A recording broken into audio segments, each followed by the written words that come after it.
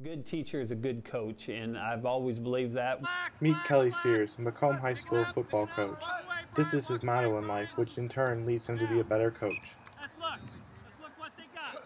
They got this cat right here.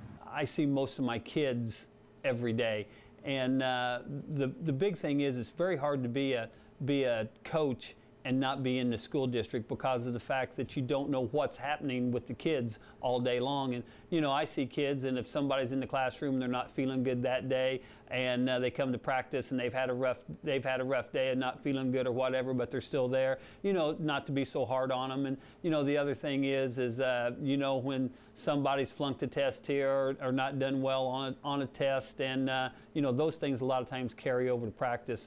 So, what does coach think you need to know about him?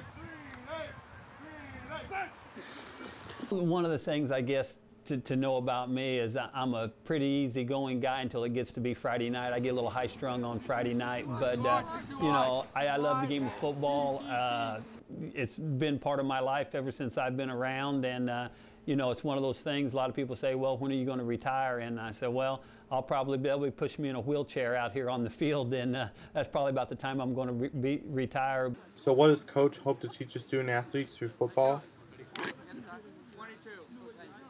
Football is the greatest game in the, in the world to teach you about life is that you know the thing is is that there's no other sport out there where you're going to get knocked down and knocked down and every 25 seconds you're going to get back up and you're going to get try to knock that other guy down and uh, you know that's the thing that we teach our kids is that this is just like life.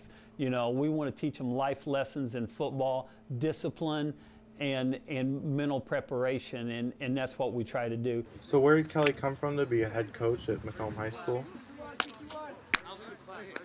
well, the way that I got involved in football, I uh, was born and raised in a little town south of here called Bluffs, Illinois, about 60 miles south. And then my journey took off to uh, William Penn University in Oskaloosa, Iowa. I went there and I played football up there. And my first teaching job was in Albia, Iowa. I was also uh, the freshman football coach, junior high basketball coach, and junior high track coach. And then I ventured out to uh, Morenci, Arizona. I was out there for four years.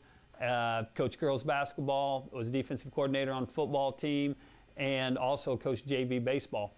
And then I uh, came back to the Midwest, got a little bit closer to home in Winchester, Illinois. My first head football coaching job at a 1A high school, and uh, then I came to Macomb, Illinois.